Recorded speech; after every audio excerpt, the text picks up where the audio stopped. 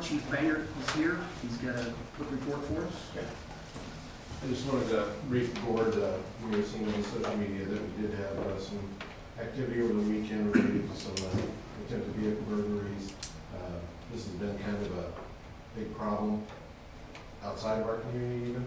Um, Chatham got hit, uh, Southern View, Riverton, a lot, a lot of that activity in Springfield, uh, vehicles getting broken into or unlocked vehicles getting entered property stolen.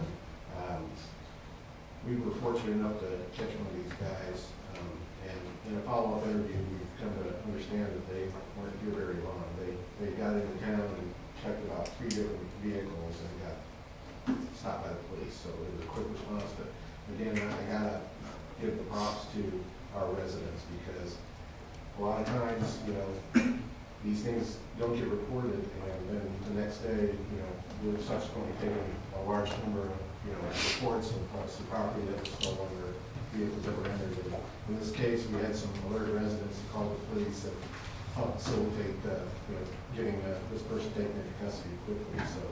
um, Although it's a a juvenile matter, we can't mention a lot about it, uh, uh, this person is well known, so he's, he's kind of got a history, you know, for this kind of activity already, so unfortunately, but, uh, I did want to share that with the board and, and let you know that, uh, that still is progressing, we are working with, uh, uh, Riverton Police and Springfield Police on, uh, associated cases, but we did recover stolen vehicle that night as well, so.